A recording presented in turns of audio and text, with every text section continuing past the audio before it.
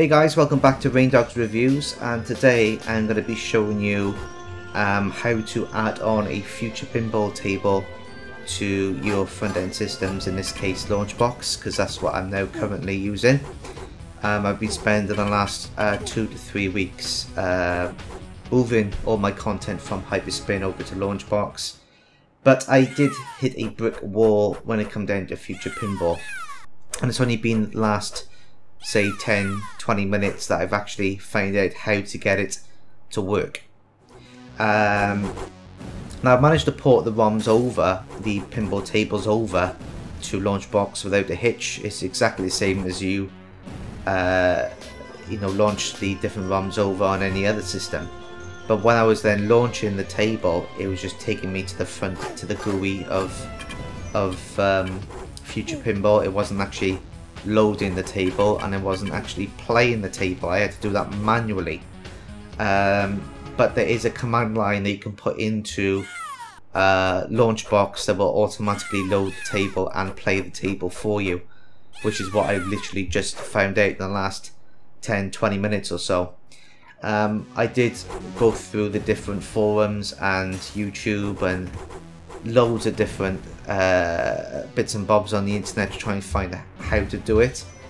Um, but I found very little information out there, um, which is why I'm going to do a tutorial for you so you know exactly how to get Future Pinball up and running on your Launchbox front end.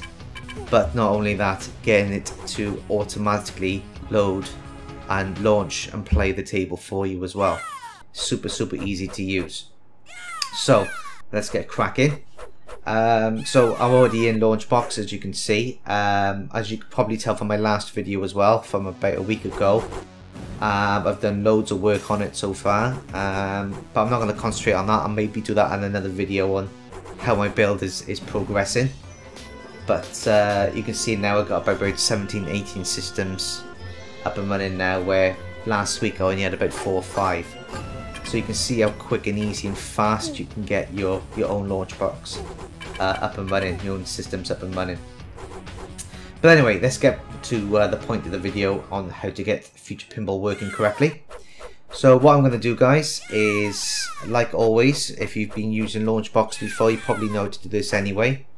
But I'm going to go to my tools and I'm going to import a ROM file um, I'm going to click next. Select the file you wish to import. So I'm going to add a file. So I'm only going to do one table. I'm not going to do a bunch of them. Um, let's just do the one to get us, get us cracking. So I'm going to go to the destination where my table is. Or ROM is, whatever you want to call it. So mine is on my arcade uh, external hard drive, which is my G drive.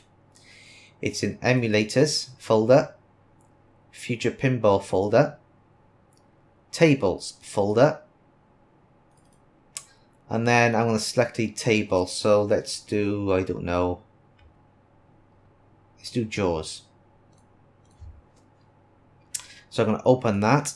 So now as you can see, it's selected the, the ROM path, G, which is my external drive, emulators folder, pinball folder, tables folder, and the JAWS ROM. So I'm going to click next to that. Platform for the imported ROMs is going to be, of course, where is he? Future Pinball. Click next. So choose an emulator. Now, of course, I've already added on Future Pinball, but if you hadn't, you'd have to go to Add, type in Future Pinball in the emulator name, then go to browse. And find the emulator application or exe file. And then in the associated platforms you want to type in again future pinball in here as well. Once you've done all that it'll be it'll be there for you. But because I've already done it I'm just going to click on Future Pinball because I've already added it on. So once I've done all that, I click Next use the file in its current location, get the information from Wikipedia and all that nonsense. I'm not going to bother with all the artwork yet. I'm going to get that later. Uh, next, and then finish. And then that game's been imported successfully. So if I go to my Future Pinball platform, you can see now Jaws has been imported over. Now, this is what happens. So if I click on Jaws at the moment, it's going to launch Future Pinball because I've already told um, Launchbox where the exe file is. But you can see it just launches the Future Pinball GUI. It doesn't actually launch uh, or load the table and launch and play the game and this is the the wall I was hitting I didn't know how to get it to load the table for me and launch the actual game for me so what you have to do if I go back to my launch box if I right click on Jaws and edit you will see that there's the launcher that I selected. But if I go to emulation there's the emulator that I'm using. Again we just don't done all that. But what I need to do is I need to use a custom command line parameter. So if I just put a tick in the box there, you need to type in forward slash open space quotation and then the destination of the ROM itself. In this case, it's not Transformers, it's going to be Jaws.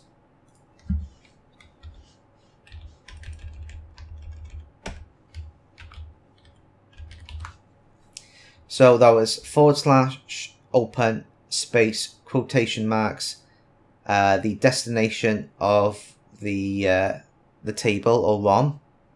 So in this case, again on mine, it's my G drive, which is my external hard drive.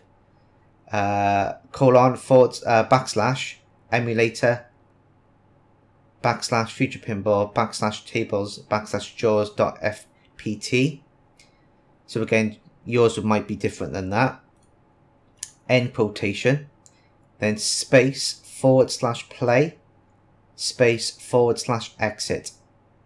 So basically all I'm doing really there is, apart from this part and this part,